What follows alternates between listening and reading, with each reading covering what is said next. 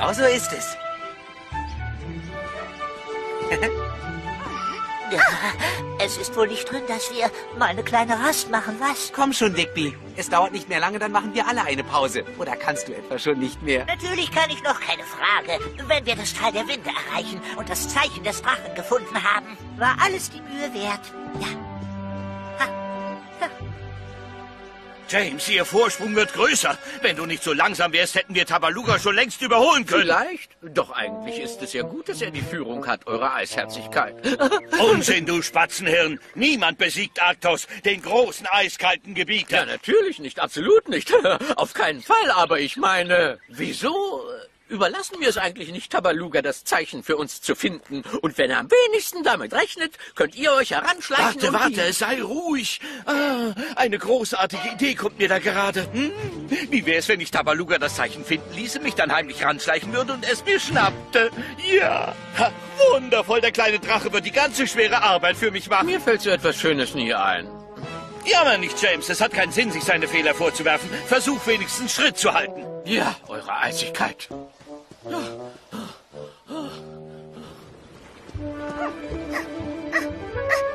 wartet ihr?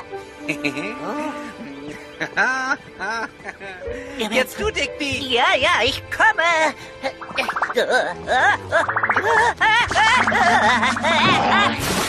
Digby!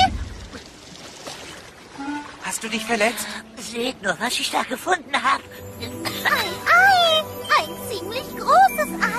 Ich glaube, das Ei ist nicht sicher, wenn es hier so alleine rumliegt. Ich wüsste zu gern, wem dieses Ei gehört. Ich sehe keine Vögel in der Nähe. Auch kein Nest. Vielleicht äh, hat sich das Ei verlaufen. Oh nein, wie soll sich denn ein Ei verlaufen? Es kann doch überhaupt nicht gehen. Naja, dann eben verrollt oder so. Oh, du armer kleiner Kerl. Er hätte sicher gern jemanden, der sich um ihn kümmert. Ich glaube, du wirst mit uns kommen müssen. Aber wir sind auf einer Suche. Das wäre für ein Ei zu gefährlich. Suchen wir einen Ort, wo es in Sicherheit liegen kann. Aber es ist auch zu gefährlich, es einfach hier zu lassen. Ja, so ganz allein. Hm. Und keiner hält das arme Ei warm. Hm. Gut, dann nehmen wir das Ei eben mit. Na, das ist ja interessant. Also wirklich äußerst interessant. Wisst ihr was? Wenn man nach dem Gewicht und der außergewöhnlichen Größe des Eis geht, dann würde ich sagen, das Ei gehört zu einer großen Vogelart, vielleicht zu den Straußen. Ein Straußenei? Ja, ja. Stellt euch doch das mal vor.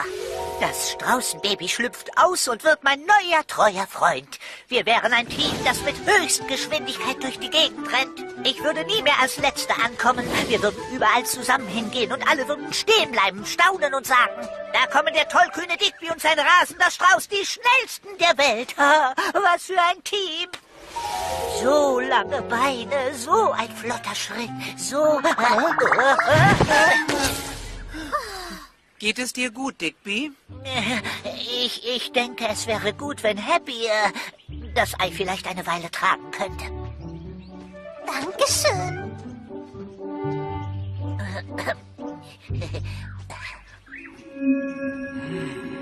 Was mag daran so wichtig sein, dass Sie es mitnehmen und so viel Wirbel darum machen? Naja, Eure Eisigkeit, das wäre möglich, ich meine. Ich werde dir was sagen, mein watschelnder Freund. Das ist das zweite Zeichen des Drachen. Mein Adlerauge verrät mir eindeutig, das ist sowas wie ein Stein. Für mich sieht es eher aus wie ein Ei. Ach, Blödsinn, James. Es ist das Zeichen und es wird mir gehören. Oh je. Ich habe gründlich nachgedacht und ich denke nicht, dass es wirklich ein Straußenei ist. Ich würde sagen, daraus wird irgendwann ein Schwan schlüpfen.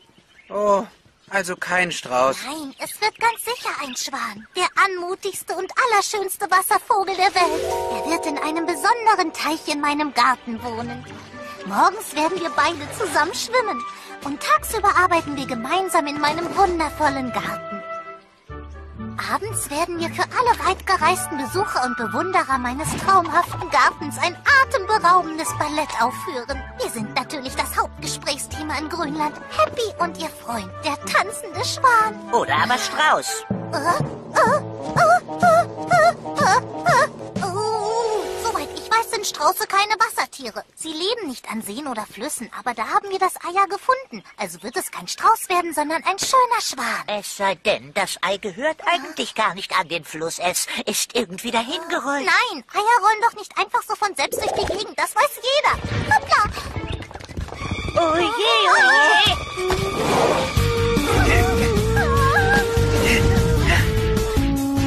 Tut mir leid. Mir auch, entschuldige. James, ich werde mir dieses Zeichen schnappen und das nächste auch. Alle fünf Zeichen. Und dann bekomme ich das Amulett der Drachen. Ich werde ein überragender Held sein, der Beherrscher eines weltweiten Winterwunderlandes. Wie schnappen eure Eisigkeit? Ganz einfach. Ich, ähm, also ich werde, es wird, äh, muss ich mir denn alles selbst überlegen. Du willst doch mein Assistent sein. Also los, assistiere endlich. Natürlich, eure Eisigkeit. Assistieren, verstehe. Und beeil dich gefälligst. Dieses Ei ist viel mehr als nur ein Ding, das von uns rumgetragen sein will. Ja, ja, es ist ein kleiner Strauß. Oder ein Schwan. Es ist ein Baby und wir müssen es beschützen. Ja, Oh, natürlich. natürlich. Ganz genau.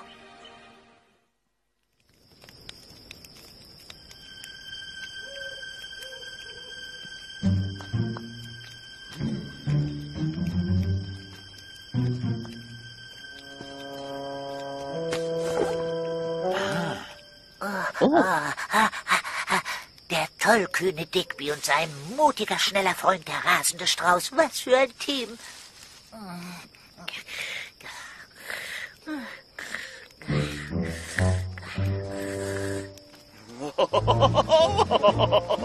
Manchmal bin ich selbst von meiner ungeheuren Genialität beeindruckt. Ich habe das Zeichen. Und was soll das für ein Zeichen sein, eure Frostigkeit? Was, äh, was bedeutet es? Nun, das ist ganz eindeutig. Ich würde sagen, es ist ein Ei. Wie entzückend. Was für eine Überraschung. Nur was bedeutet es? Ganz offensichtlich ist. Oh, das kann doch jeder Trottel sehen. Es verkörpert. Uh, i. Das ist völlig egal. Viel wichtiger ist, dass ich es jetzt habe und nicht dieser rauchspuckende Angeber Tabaluga.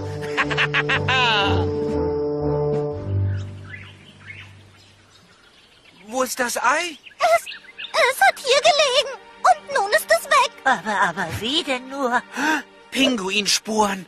Soll das heißen, da ist ein Pinguin rausgeschlüpft? Nein, nein, die stammen von einem großen Pinguin. James! Was, du meinst, James hatte sich darin versteckt? Oh nein! Ich meine, er hat es entführt. Weil Arktos das Ei wollte. Aber, aber wieso? Was soll denn Arktos mit einem Strauß anfangen? Oder einem Schwan. Vermutlich denkt er, dass das Ei das nächste Zeichen ist. Oder noch viel schlimmer, dass das nächste Zeichen da drin stecken könnte. Wie ich Arktos kenne, wird er nicht zögern. Und das Ei aufschlagen. Oh nein, wir müssen unser Ei sofort vor Arktos retten. Folgen wir schnell diesen Spuren. Los geht's. Komm schon, James, nicht schlapp machen. Äh, äh, eure Frostigkeit. Nein, was ist denn jetzt schon wieder? Oh, es wird gleich explodieren. Diese hinterhältige grüne Schuppe hat mir eine Falle gestellt. Nein, nein, da schlüpft gleich was. Oh, wie wunderbar, das Zeichen des Drachen muss in dem Ei sein. Und gleich wird es herausschlüpfen. Eure Eisigkeit, ich habe nachgedacht. Wenn dies wirklich das Zeichen ist, wieso ist Tabaluga dann weitergelaufen, statt auf der Stelle umzukehren und nach Grünland zurückzugehen? Na, vielleicht, weil er wieder mal versuchen wollte, mich reinzulegen. Los, gib das Ei her. Ich will einen Blick auf mein Schicksal werfen. Gib her, gib her, gib her. Oh, welch großartiger Ruhm erwartet mich. Oh. Hä? Nimm es, nimm es, nimm es.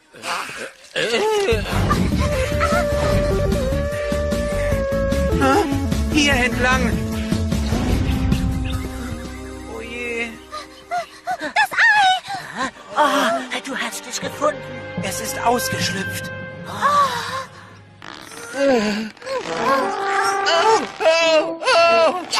Kusch, kusch. James, halte dieses Tier von mir Komm, fern. Tierchen, komm schon. Du darfst seine Eisigkeit nicht belästigen.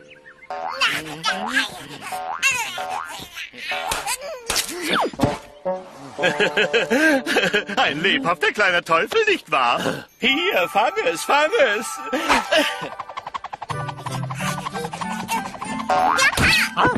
Hier ist es. Oh, nicht du, er, du Spatzenhirn. Spatzenhirn, Oh, Spatzenhirn.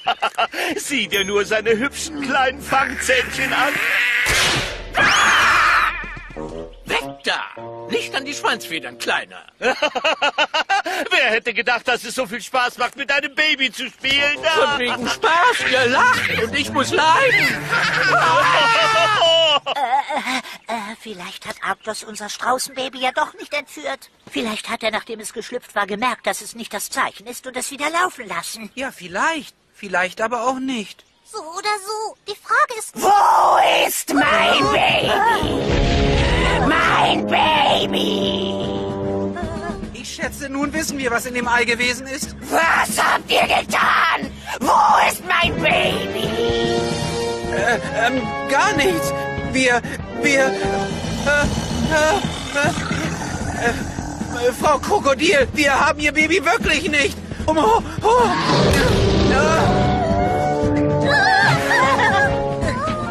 Gebt mir sofort mein Baby wieder!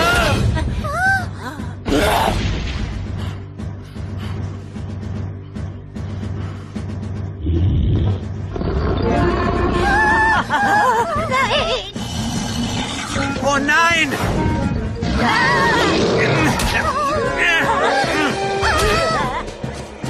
Jetzt hören Sie doch erst mal zu. Wir haben Ihr Baby wirklich nicht. Wo ist mein Baby?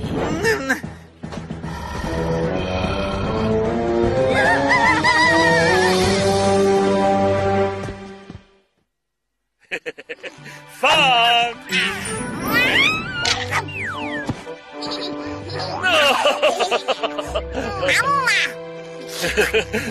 Ich befürchte, wir haben einen Fehler gemacht, Eisigkeit. Wenn das nicht das Zeichen ist und ich wüsste nicht, wieso es das wäre, dann ist es Tabaluga tatsächlich gelungen, uns zu entwischen. Ach, Blödsinn, völliger Unsinn. Du bist ja nur genervt, weil der kleine Kerl dich vor Freude gezwickt hat. Vielleicht hat er ja auch das Zeichen bereits gefunden und während wir uns hier vergnügen, unternimmt er alles, um an das Amulett der Drachen zu gelangen. Wir sollten diesen Dosenöffner auf vier Beinen hier zurücklassen und dringend nach Tabaluga suchen. Ach, Unsinn, James. Na du, dubi-dubi-du, ah, dubi-dubi-du. Gibst du dem netten Schneemann ein kleines Küsschen, mein süßer Schatz?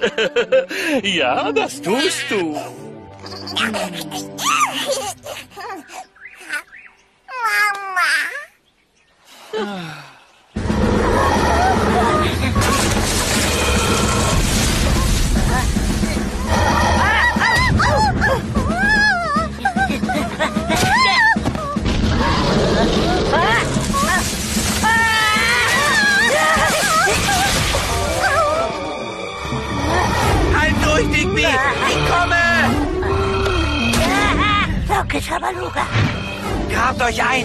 den Felsblöcken wird sie euch nicht erwischen können. Ich werde versuchen, ihr Baby zu finden.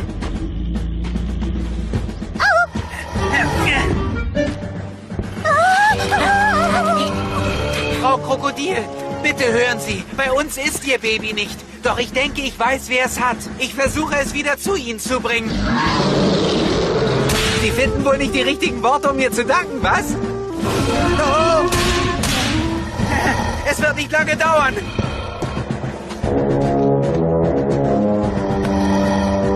Bestimmt sind wir hier sicher.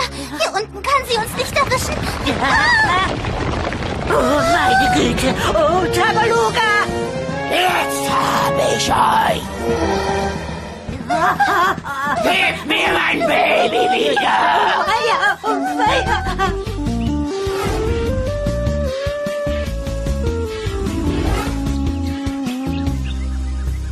Ha! Arktos!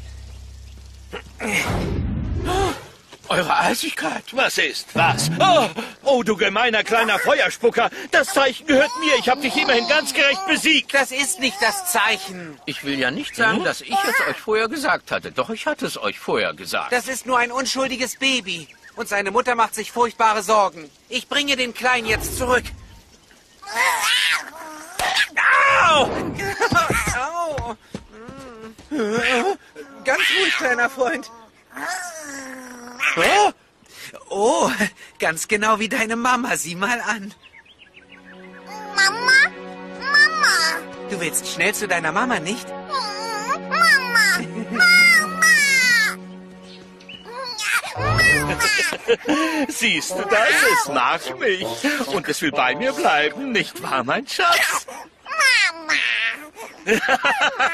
Es, es kann doch nicht allen Ernstes dich für seine echte Mutter halten. Doch, wird einem da nicht ganz kalt ums Herz? Willst du den kleinen Liebling etwa von seiner Mami wegreißen? Willst du das? Nein.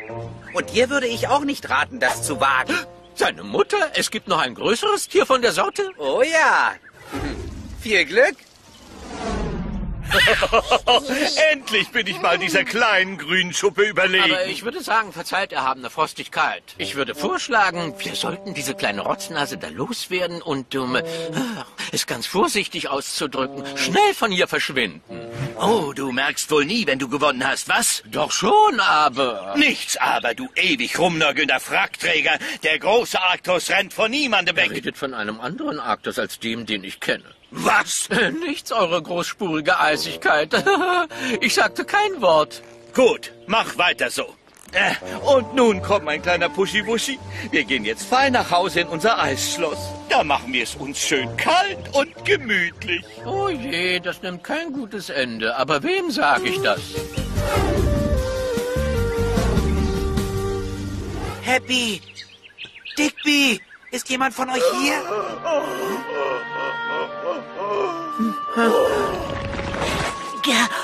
Oh, Tabaluga. Mann, wir sind vielleicht froh, dich wiederzusehen. Wo ist das Babykrokodil? Bei Arktos. Er wollte es nicht herausgeben. Du lässt dich doch sonst nicht von seinem Nein beeindrucken, oder? Naja, der kleine Kerl ist sozusagen fest an Arktos gebunden. An Arktos? Genau. ja, er hält Arktos sogar für seine Mami. Arktos. Mama Arktos. Oh, oh, oh, oh je. Komm lieber hier runter zu uns. Frau Krokodil wird nicht eher aufgeben, ehe sie ihr Baby zurück hat. Gut, Was soll daran denn gut sein? Sie ist mehr als ein Krokodil. Sie überrollt dich wie eine Dampfwalze. ich habe eine Idee. Wenn ich das Baby nicht zur Mutter bringen kann, dann werde ich die Mutter eben zu ihrem Baby bringen. Hey! Vom Rumsitzen bekommen Sie Ihr Baby nie zurück, Frau Krokodil. Gib mir mein Baby wieder. Holen Sie es sich doch, wenn Sie es wollen. Na los, worauf warten Sie? Machen Sie schon. Wir haben keine Zeit für einen Imbiss, doch. Sie können ein schönes Kaltgetränk genießen, wenn Sie mir folgen. Ein bisschen Beeilung, bitte. Es ist nicht mehr weit.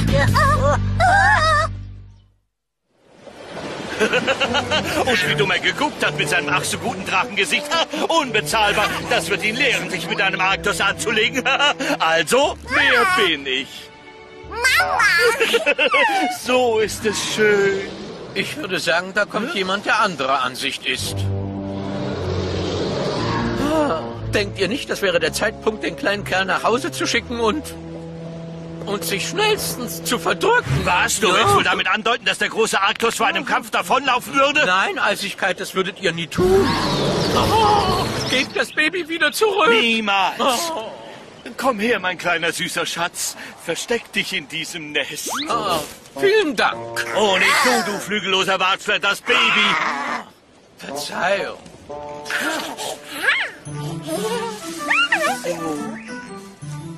Von wegen das Baby zurückgeben. Ha! Du bleibst hier schön ruhig sitzen, bis Mama Arktos dich wiederholen wird. Mama! Brav, brav, mein kleiner Frechdachs. Sch- Kommen Sie! Hier herüber. Der dort hat Ihr Baby.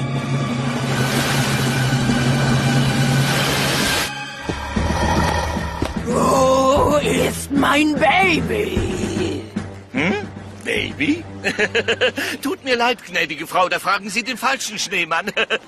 Hast du vielleicht hier irgendwelche Babykrokodile gesehen, James? Äh, nein. Wir haben Ihr Baby jedenfalls nicht, wie Sie sehen können. Aber Moment, ich habe gestern einen Drachen und seine Freunde beobachtet. Die haben von einem Flussufer ein Ei weggeschleppt. Streite es ruhig ab, wenn du dich traust, Drache. Wir dachten, es wäre verlassen worden und da hat es Digby mitgenommen. Ha, der Schuldige gesteht die Tat. Damit ist klar, ich bin unschuldig. Der da ist Ihr Krokodilentführer.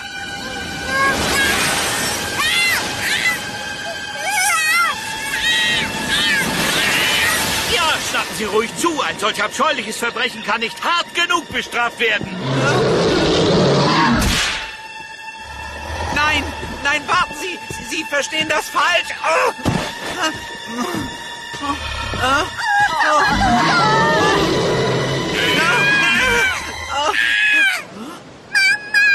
Oh, mein Baby! Oh, mein Baby!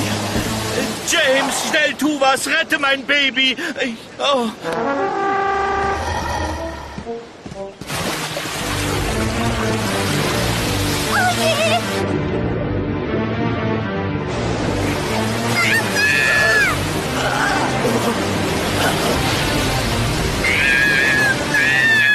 Nun mit deinem Baby? Guck mich nicht so an! Sie ist die mit den Schwimmfüßen!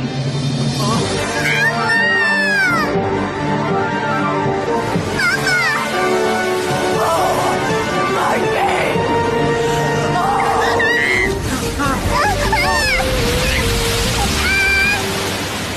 Hier, bitte. Mein Baby!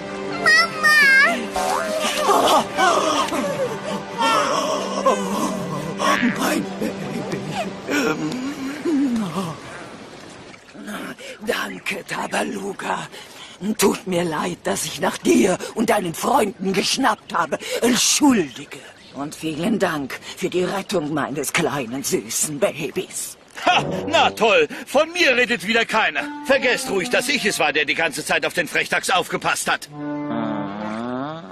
Ich habe dich nicht eine einzige Sekunde lang vergessen. Oh, oh, vielen Dank, nicht nötig. Oh, oh, oh,